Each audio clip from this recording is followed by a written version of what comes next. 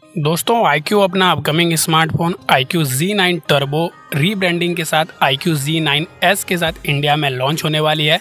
सो आज की वीडियो में हम बात करेंगे iQOO Z9s में हमें कौन कौन से नए और कमाल के फीचर देखने को मिल जाएँगे।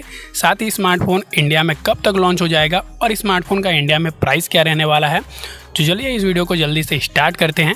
सबसे पहले बात करेंगे स्मार्टफ़ोन पे लुक्स एंड डिज़ाइन की। तो स्मार्टफ़ोन का लुक्स एंड डिज़ाइन आपको I Q Z nine turbo की तरह ही देखने को मिल जाएगा।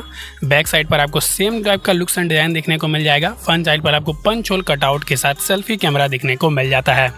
बाकी ये स्मार्टफ़ोन अगस्त में लॉन्च होने वाला है तो लॉन्च डेट तो जो मैंने आपको रिवील कर दिया है बट इंडियन प्राइस को ज़रूर से जान करके जाना, क्योंकि काफ़ी ज़्यादा सॉफ्ट हो जाओगे उसके प्राइस को जान करके।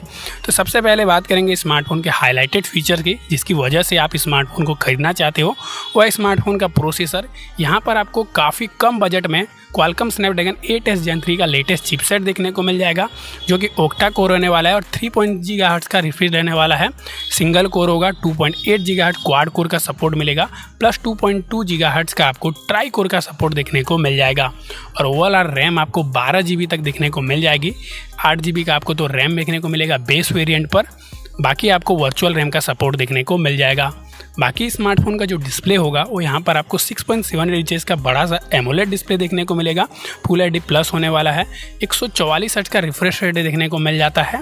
और बेजल लेस होगा और पंच होल कटआउट के साथ डिस्प्ले आने वाला होगा। यानी कि डिस्प्ले में आपको एडिया टेन प्लस का सपोर्ट तो देखने को मिलेगा। साथ ही साथ आपको सिक्सटीन बीट का कलर कॉम्बिनेशन भी देखने को मिल जाता है।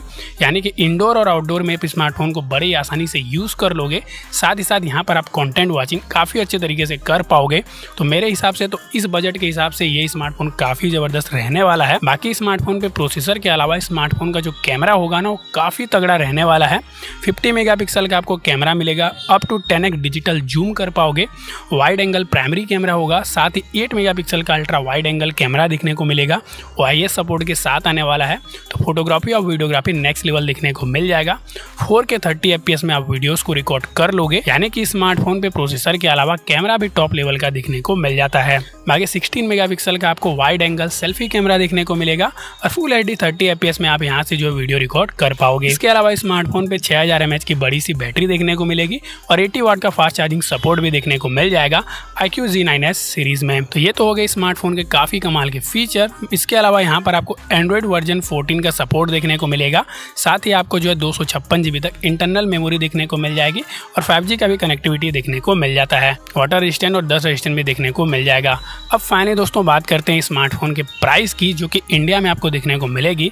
तो जो एक्सपेक्टेड प्राइस है, वो है लगभग आपको बीस हज़ार रुपये के प्राइस के अंदर ये स्मार्टफ़ोन हमें देखने को मिल सकता है।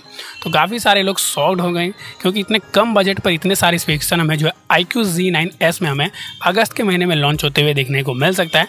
ये प्राइस जो है एक्सपेक्टेड प्राइस है, काफ़ी दिनों दिन थोड़ा सा कम होते जा रहा है। पहले स्मार्टफ़ोन का प्राइस लगभग चौबीस हज़ार रुपये के आसपास बताया जा रहा था, बड़ा एक्सपेक्टेड प्राइस लगभग बीस हज़ार रुपये होगा, तब हमारे लिए काफ़ी ज़्यादा वर्थ इट होगा, इतना ज़्यादा वेट करना। बाकी दोस्तों, आपको ये स्मार्टफ़ोन कैसा लगा, नीचे कमेंट करके ज़रूर बताना।